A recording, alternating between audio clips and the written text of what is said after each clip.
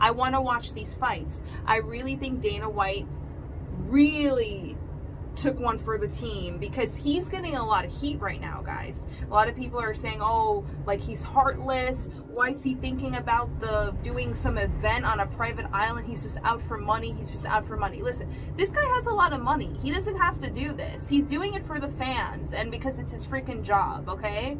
And this sense of normal that he's doing with this UFC card 249 is what we need, okay? We need more of going back to normal. We can't just allow this pandemic to like control our lives and like force us to just like abandon all sense of like our lives and like what we love, okay? Listen, all the other fans, I mean, all the other fighters are going to this private island, right? Jessica Andrade, she's from Brazil. Brazil didn't get in the way of her getting into this fight. Francis Ngannou, He's from France. France didn't get in the way of him fighting. So why the hell is Russia like forcing Khabib when he's like the big one of the biggest fighters in MMA and this fight now is the fifth time that they were supposed to fight.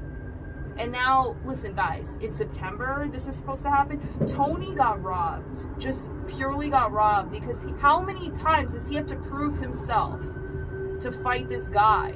How many times? And people saying that Khabib should get stripped. Listen, I don't think he should get stripped. But no, know, guys, this is so weird. Like, this is so weird that it's not going to happen again. I don't, I'm not saying that Khabib is like scared of Tony. I really don't think he's scared of Tony. But I just think that there's like a conspiracy going on, you know? So let me know in the comments because I'm it's good to dissect these two things, right? Like, oh, this pandemic is really bad, it's really bad. Yeah.